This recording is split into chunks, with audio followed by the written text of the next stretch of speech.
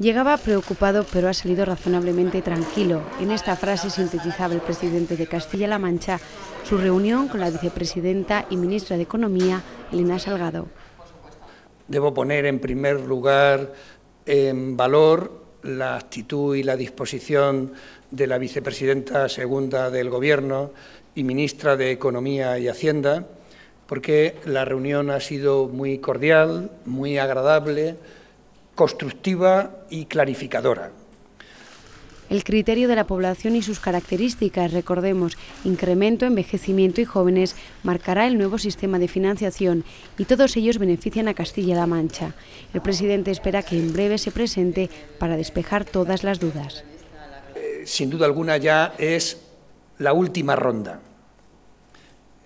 Y esto pasa como eh, en los bares, cuantas más rondas, eh, más hay que pagar.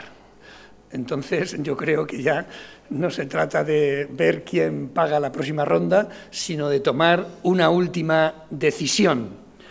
Y creo que la ministra está haciendo un buen trabajo, en La Mancha diríamos encaje de bolillos, para que finalmente eh, todo esté a punto. Además, ha recordado para qué quiere Castilla-La Mancha el incremento de la financiación autonómica en mis prioridades no están ni abrir eh, delegaciones, embajadas o como se las quiera llamar en el extranjero y tampoco está, como es bien sabido, eh, crear y mantener ninguna policía autonómica. Esto es un hecho objetivo.